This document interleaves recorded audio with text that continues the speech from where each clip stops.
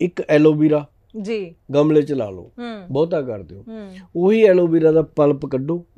Pulp ਕੱਢ ਕੇ ਮੰਨ ਲਓ ਇੱਕ ਕੌਲੀ ਪਲਪ ਕੱਢ ਲਓ। ਉਹਦੇ ਵਿੱਚ ਇੱਕ ਕੌਲੀ ਹਲਦੀ ਪਾ ਲਓ।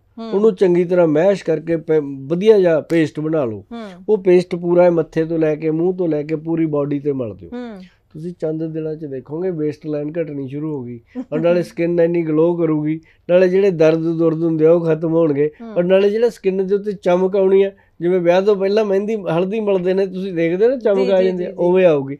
ਔਰ ਸਕਿਨ ਦਮਕਣ ਲੱਗ ਜੂਗੀ। ਇਹਨੂੰ ਥੋੜੇ ਜਿਹੇ ਦਿਨ ਕਰਕੇ ਅੱਛਾ ਬਹੁਤਾ ਕਰਦੇ ਹੋ ਚ ਥੋੜੀ ਜਿਹੀ ਮਲਤਾਨੀ ਮਿੱਟੀ ਵੀ ਪਾ ਲਓ। ਮਲਤਾਨੀ ਮਿੱਟੀ ਪਾਉਣ ਦੇ ਨਾਲ ਸਕਿਨ ਦੇ ਵਿੱਚ ਕਸਾਅ ਆਉਂਦਾ ਉਹ। ਖਿੱਚ ਲੈਂਦੀ ਹੈ। ਉਹਦੇ ਖਿੱਚਣ ਨਾਲ ਕੀ ਹੁੰਦਾ ਕਿ ਤੁਹਾਡੀ ਜਿਹੜੀ ਐਂਟੀ ਏਜਿੰਗ ਜਿਹੜੀਆਂ ਲਾਉਂਦੇ ਹੋ ਕਰੀਮਾਂ ਇੰਨੀਆਂ ਮਹਿੰਗੀਆਂ।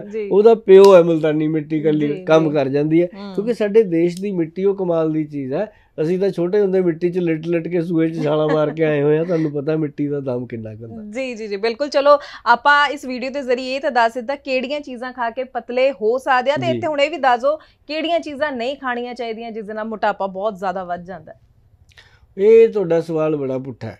ਕਿਉਂਕਿ ਲੋਕੀ ਕਹਿੰਦੇ ਸਾਨੂੰ ਖਾਣ ਤੋਂ ਨਾ ਰੋਕੋ ਬਸ ਅਸੀਂ ਖਾਣਾ ਹੀ ਖਾਣਾ। ਅੱਛਾ ਜੇ ਅਸੀਂ ਰੋਕਦੇ ਆ ਤਾਂ ਮੈਂ ਤਾਂ ਇੱਕੋ ਗੱਲ ਕਹਿਣਾ ਹੁੰਦਾ ਵੀ ਜੋ ਮਰਜ਼ੀ ਖਾਓ। ਪਰ ਆਹ ਚੀਜ਼ਾਂ ਖਾਓ ਜਿਹੜੀਆਂ ਮੈਂ ਕਹਿਣਾ ਜਿਹੜੀਆਂ। ਮੈਂ ਨਹੀਂ ਦੱਸੀਆਂ ਉਹ ਖਾਣੀਆਂ ਹੀ ਨਹੀਂ। ਇਟ ਮੀਨਸ ਮਾਂ ਰਾਜਮਾ ਆਲੂ ਚਾਵਲ ਅਰਬੀ ਭਿੰਡੀ ਚਿੱਟੇ ਛੋਲੇ ਇਹ ਦੁਸ਼ਮਣ ਹੈ। ਜੀ। ਹਰੇਕ ਬੰਦੇ ਦੇ ਜਿਹਨੂੰ ਸ਼ੂਗਰ ਹੋ ਗਈ ਔਰ ਜਿਹਨੂੰ ਜੋੜਾਂ ਦਾ ਦਰਦ ਹੈ ਜਿਹਨੂੰ ਮੋਟਾਪਾ ਹੈ ਉਹ ਤਿੰਨੇ ਮਰੀਜ਼ ਤਾਂ ਇਹਨੂੰ ਬਿਲਕੁਲ ਵੀ ਹੱਥ ਨਾ ਲਾਇਆ ਕਰੋ। ਬਾਕੀ ਜਿਹੜੇ ਤੰਦਰੁਸਤ ਨੇ ਉਹ ਖਾਇਆ ਕਰੋ ਚਾਵਲ ਦੇ ਨਾਲ ਰੋਟੀ ਜਿਹੜੇ ਮਰੀਜ਼ ਨੇ ਉਹਨਾਂ ਵਾਸਤੇ ਜਿਹੜੇ। ਤੰਦਰੁਸਤ ਲੋਕ ਆ ਉਹਨਾਂ ਲਈ ਕੋਈ ਮਨਾਹੀ ਨਹੀਂ ਕੁਝ ਵੀ ਖਾਓ।